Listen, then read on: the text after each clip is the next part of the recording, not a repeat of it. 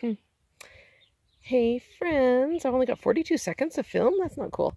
Um, I'm up here on top of our swing set. yeah, I climbed up that ladder. I think I'm gonna go down the slide. I don't know. I've been staining in there. You can see there's kind of a difference. It doesn't look fantastic, but it's okay. Um, I hope I don't fall through. That'd be really terrible. The one um, ceiling panel came off, but look at that sunset. Ooh, pretty. I should just film until it quits, I guess. Look at the look at the Canadian thistle. Oh, it wants me to quit. Look at my poor garden. I've been trying to whack a little little pathway through so I can work on it. Somebody coming home.